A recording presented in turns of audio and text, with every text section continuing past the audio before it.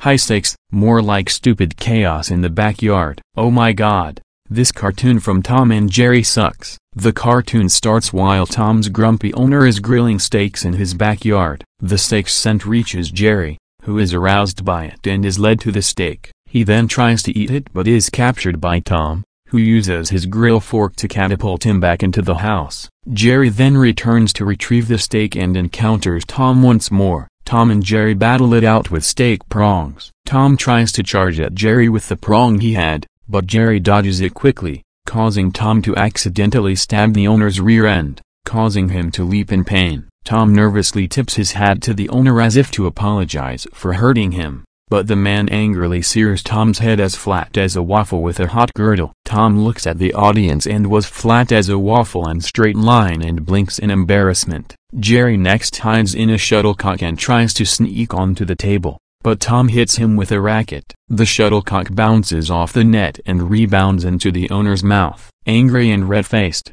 he furiously breaks the racket over Tom's head and walks away. The racket flips over for a few seconds to hit him again. Tom then tries to stop Jerry from opening a freshly shaken bottle of Coca-Cola, but he is too late the soda ruins one of the man's steaks. Assuming that Tom did it, he punishes Tom by shaking another bottle of Coca-Cola and forcing it in Tom's mouth, making Tom swallow and take on the shape of a bottle, much to Jerry's humor. Jerry laughs and laughs himself silly. Once Tom recovers, chases Jerry across the yard only to lose him and turn his mind to the smell of steak cooking on the grill. While Tom is distracted, Jerry slips his tail onto the grill, trapping it in. Tom tries to pull it out but the pain causes him to screech in fear and run out with his tail hooked on the grill, knocking Clint aside along with his steak, drink and the bowl of chips flies in the air. Tom dives into the swimming pool to cool off, but when he tries to resurface he is pulled back into the water due to the grill's weight. The furious owner,